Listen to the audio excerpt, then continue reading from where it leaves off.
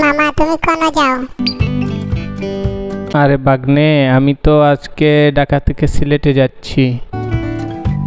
মামা সিলেটে গিয়ে কি করবা? আরে বাগনে আজকে তো আমি সিলেটে যাচ্ছি শুধু সিলেট ঘুরতে। সিলেট নাকি অনেক সুন্দর একটা পর্যটক এলাকা তাই আমি এখানে ঘুরতে যাব। মামা আমাকে নিয়ে যাও না।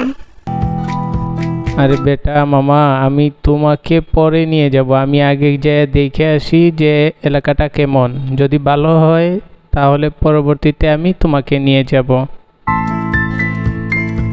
মামা আমি যাব মামা। মামা আমি যাব। আমাকে নিয়ে যাও। আগ্নে তুমি বোঝার চেষ্টা করো। যদি এলাকাটা সুন্দর না হয় তাহলে গিয়ে তো কোনো লাভ নেই।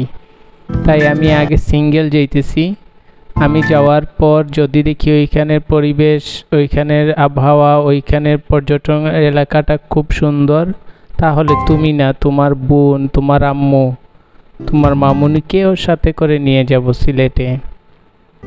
মামা আমি কিচ্ছু বুঝছি না। আমি কিচ্ছু বুঝতেও চাই না। আপনি আমাকে সাথে করে নিয়ে যান না মামা আমি সিলেটে যাব। মামা তুমি একটু বোঝার চেষ্টা করো। আমি বললাম না, আমি আগে পার্সোনালি দেখে আসি, তারপর আমরা ফ্যামিলি ট্যুর যাব। সবাই একসাথে যাব। শুনছি সিলেট নাকি খুব সুন্দর একটি এলাকা। ওইখানে হজরত শাহজালাল শাহফরান নাকি, চায়ের বাগান আছে। ওইখানে নাকি সাদা পাথরের এলাকা। ওইখানে নাকি মিনি সুন্দরবন। ওইখানে নাকি আবার রাতার রাতারগুল। ওইগুলা সব আমি আগে ভিজিট করে আসি। তারপর আমি তোমাদেরকে নিয়ে যাব। বুঝতে পারছ মামা?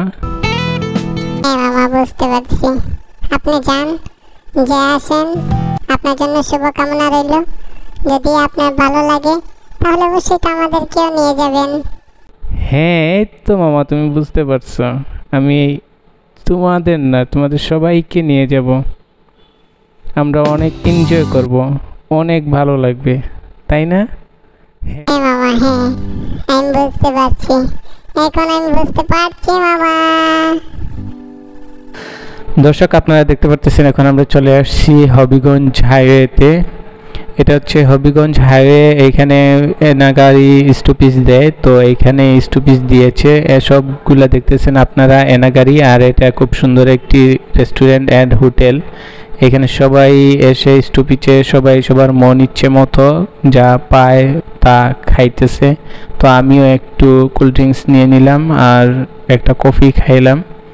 এখন আমি গাড়িতে উঠতে পারব সাথে থাকুন ধন্যবাদ সবাইকে।